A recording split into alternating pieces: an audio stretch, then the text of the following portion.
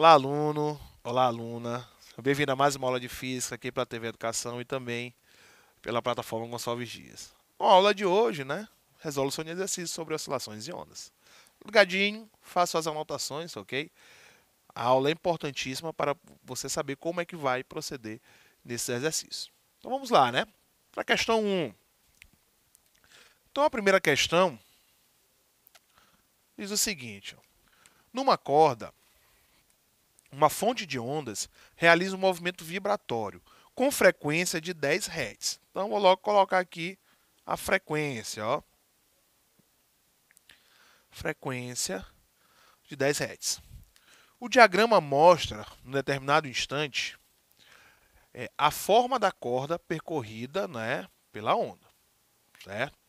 Então, a velocidade de propagação da onda em centímetros por segundo é Letra A, 8, letra B, 20, letra C, 40, letra D, 80 e letra E, 160. Ok? Então, você consegue ver aí bem explícito na questão é, o comportamento dessa onda, não é isso? Então, a onda ela tem uma amplitude de 3 né, centímetros e ela tem um comprimento de onda que nós vamos estabelecer a partir de agora. Tá certo? Então, eu vou trazer esse desenho para cá, que é para poder a gente analisar. Certo? Então nós temos né, esse comportamento. Ok?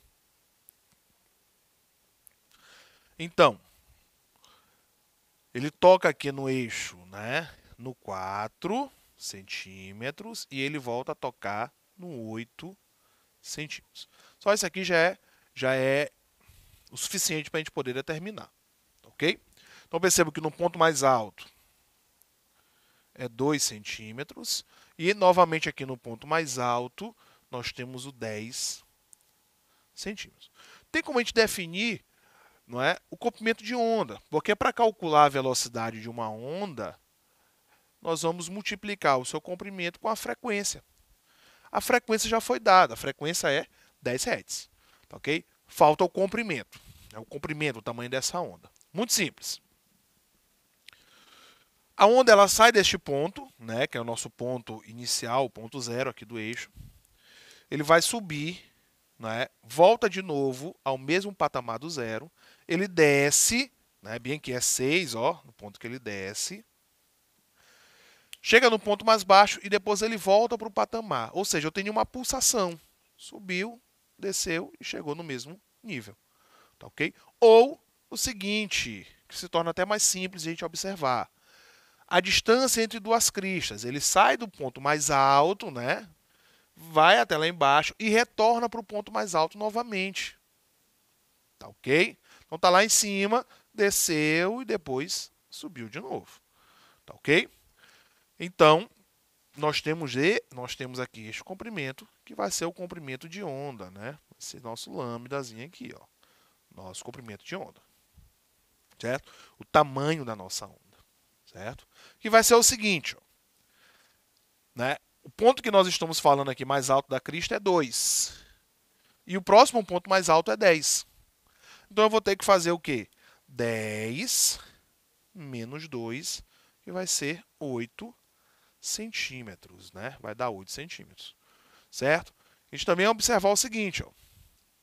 Ele começa no zero, voltou, né? Passou pelo eixo, e passou pelo eixo pela segunda vez.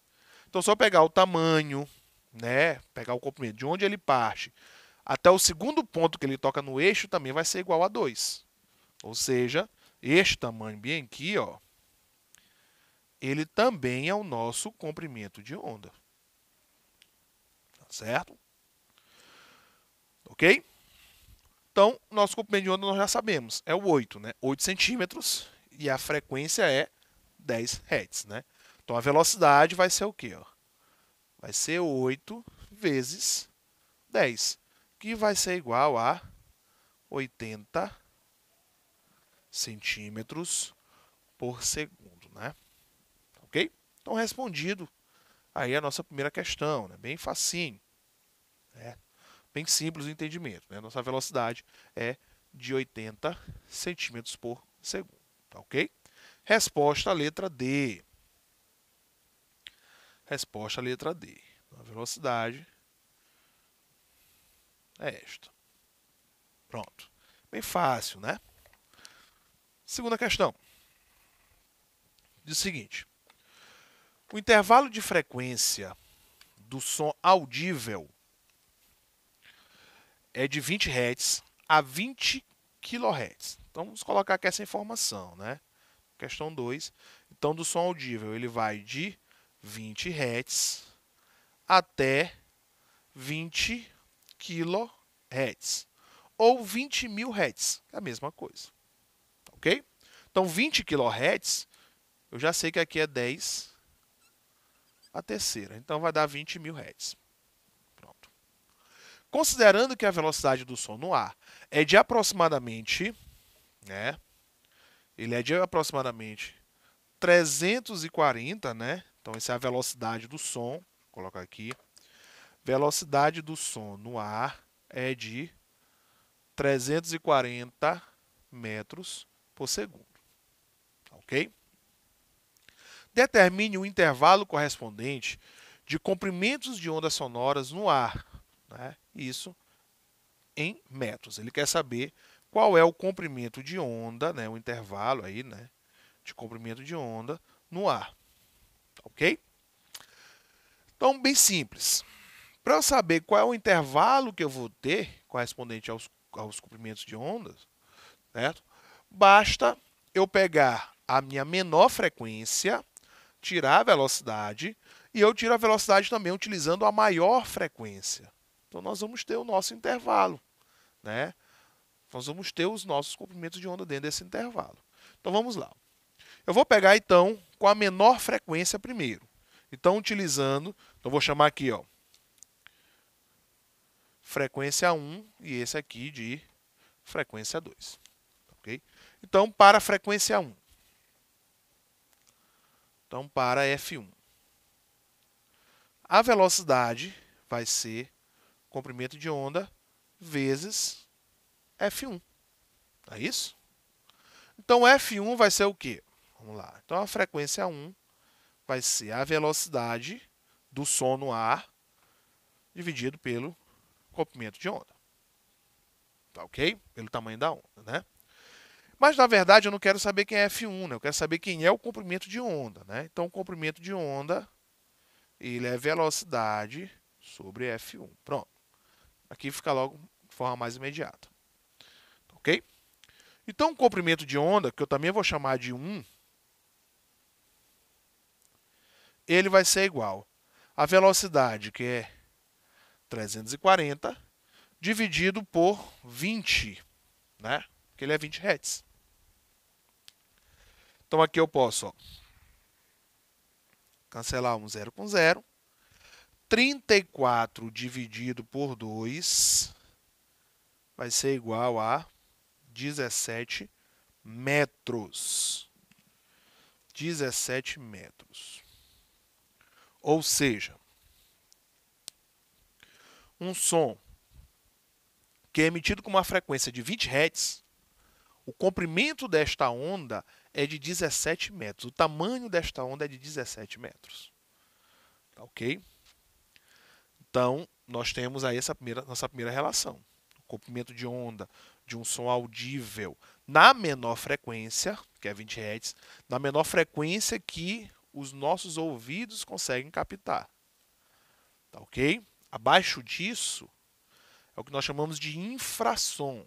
É um som, não é, com uma frequência tão pequena que os nossos ouvidos não são capazes de captar. Ok?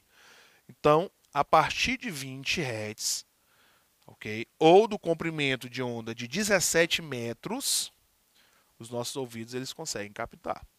Ok? Isso para a velocidade do som no ar. Ok? Nós sabemos que a gente pode encontrar o som no, no, no líquido ou no sólido. No sólido, né? Você nunca vai ver a velocidade do som no vácuo. Isso você nunca vai encontrar. Porque o som não se propaga no vácuo. Ele só se propaga em meio material. Certo? E comumente nós falamos dessa velocidade do som no ar. Tá ok? Vamos lá. Então, para F2.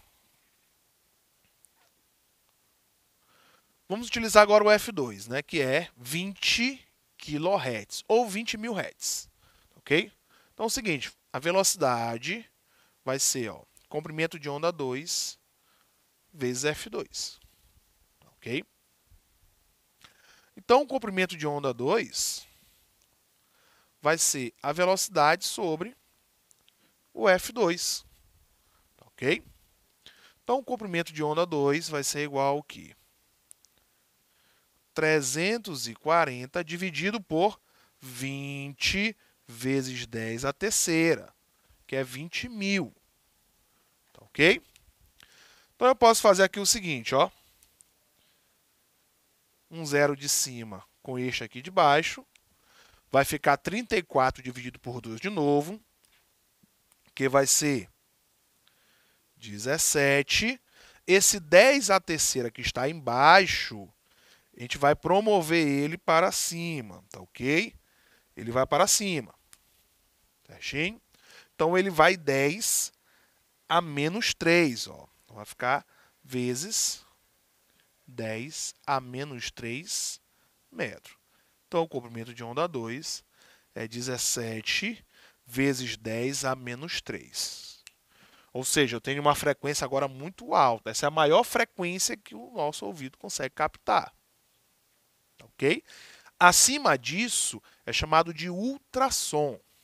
É aquele mesmo ultrassom do aparelhozinho de ultrassom. Tá certo? Ali é uma onda sonora que os nossos ouvidos não conseguem captar. Tá ok? Ele não tem a capacidade de captar. É uma frequência muito alta. Tá ok? Então, é, quando ele está nessa frequência máxima para os nossos ouvidos, ele tem um comprimento de onda bem pequeno. Ele está na casa do 10, né, 17 vezes 10 a menos 3. Ok? Isso dá 17 milímetros. Ok? Então eu saio de uma onda que tem 17 metros de tamanho para uma onda que tem 17 milímetros de tamanho. Então, isso é o que o nosso ouvido consegue captar, dos 17 milímetros ao 17 metros. Tá ok? A, a, mais do que isso e a menos do que isso, a gente não consegue captar. Tá ok? Outros animais conseguem. Morcego, elefante, baleia e por aí. Eles conseguem captar sons maiores e os insetos, alguns tipos de insetos, os sons menores do que essa frequência. Tá certo? Mas nós, humanos, a gente só consegue captar aí nesse intervalo. Quando a gente for falar a parte de acústica, um pouquinho lá para frente, certo? Nós vamos entender melhor como é que se dá essa relação né, do som audível, do som não audível, tá ok? A gente vai falar melhor sobre isso. Então, exercício 2, letra D, né? Então, aqui a resposta é a letra D. Deixa eu botar bem aqui. Pronto. Que é 17 vezes 10 a menos 3 a 17 metros. Né? Então, está aqui a relação deles. Tá ok? Então, questão 2 resolvida. Né? Vamos para a questão 3. Questão 3 diz o seguinte. Considere as, afirma as afirmações relativas às formas de ondas, né? as formas da onda né? mostradas é, na figura a seguir. Então, tem ali a figura, certo? Tem a onda A, que é vibração em direção, e a onda B, que é vibração em direção, só que em é, direções opostas. Né? Nós temos ali na onda A, direção de vibração, direção de movimento, que é a mesma, mesma direção na horizontal, e na onda B, a direção de vibração é na vertical e a direção de movimento, né, que é de propagação, é na horizontal. Tá ok? Vamos voltar para a pergunta. Diz o seguinte: primeiro, né, um, né? A onda A é conhecida como onda longitudinal. E seu comprimento de onda é igual a metade do comprimento é, da B. Né? De novo, a onda A é conhecida como onda longitudinal. E seu comprimento de onda é igual a metade do comprimento de onda da B. Vamos trazer essa informação para cá. Então, a questão 3, né? Então, na questão 3, ele afirma, né, na 1, na 1, que a onda A, ó, que A é uma onda longitudinal e seu comprimento de onda, né? Então ele diz que a longitudinal e que seu comprimento de onda, o comprimento de onda A é igual a metade do comprimento de onda B. Não sei, a gente vai analisar depois. O 2 diz o seguinte: uma onda sonora propagando-se no ar é melhor descrita pela onda A, onde as regiões escuras são chamadas regiões de compressão e as claras são chamadas é, regiões de rarefação. Tá ok? Então é o seguinte. Então ele está dizendo ó, que uma onda sonora é descrita melhor em A, ok? Então, na onda A, ele afirma de novo que é longitudinal, porque ele fala em rarefação e compressão. Então ele diz o seguinte: que as regiões escuras são regiões de compressão. E as claras são chamadas de rarefação. Tá ok? Então, as moléculas estão comprimidas, ok? Uma hora estão comprimidas e uma hora estão afastadas. Quando estão comprimidas, é a área de compressão. Quando estão afastadas, é rarefação. Nós vimos que isso acontece apenas nas ondas longitudinais. E a 3, se as velocidades das ondas A e B não é? são iguais e permanecem constantes, e ainda, se o comprimento de onda, é, né, de onda da onda B é duplicado, então o período da onda A é igual ao período da onda B. Né? Vamos desmistificar isso aqui. Ó. Então, ele diz o seguinte, ele diz que as velocidades, vou botar aqui para 3, ele afirma aí, ó, seguinte, que a velocidade A é igual a B, né? E elas vão continuar desse jeito. E ele diz que se o comprimento de onda A, né, de onda, de onda B, é duplicado, então ele está dizendo o seguinte, que o comprimento B é duas vezes o comprimento A. Aí ele afirma novamente, né? Então o período da onda A é igual ao período da onda B. Então ele afirma que o período de A é igual ao período de B. Tem que ter cuidado com esse tipo de afirmação, porque nós temos uma mudançazinha ali, tá certo? Tá ok? Então vamos ver aqui né, qual dessas três é correta. Vamos lá. No caso da 1, ele diz realmente que é longitudinal. Ok, a 1 é longitudinal, verdade. O que eu não posso afirmar é que os comprimentos de ondas têm essa relação. Isso aqui é falso, certo? Isso aqui é falso. Ele não me dá, nem no texto e nem na figura, uma escala para saber a, a relação desses comprimentos de onda. Então não tem como eu afirmar. Então a primeira é falsa, certo? Falso. A 2. A 2 ele fala que a onda A ela é uma onda longitudinal e é longitudinal. Você consegue ver na figura as áreas de rarefação e de compressão, certo? Escuro é compressão e claro é rarefação. Então, esta aqui é verdadeira. A 2 é verdadeira. A 3, ele faz a relação de velocidade, comprimento de onda e período, OK? Velocidade de uma onda é o comprimento sobre o período. Ou seja, comprimento e período são grandezas diretamente proporcionais. Ou seja, se o período, né, se o comprimento de onda é, de B é duas vezes o de A, então os períodos teriam que seguir a mesma lógica. Então, o comprimento, né, quer dizer, o período B tinha que ser duas vezes o período A também. E ele não diz isso, ele diz que são iguais. Se ele diz que são iguais, então isso é falso, certo? Então, a 3 é falsa, ok? Então, somente a 2 é correta. Então, resposta, letra A, ok? Viram como é bem simples? Basta fazer a análise, prestar muita atenção no que está lendo, tá ok? Com essa questão, finalizamos a aula de hoje e até a próxima.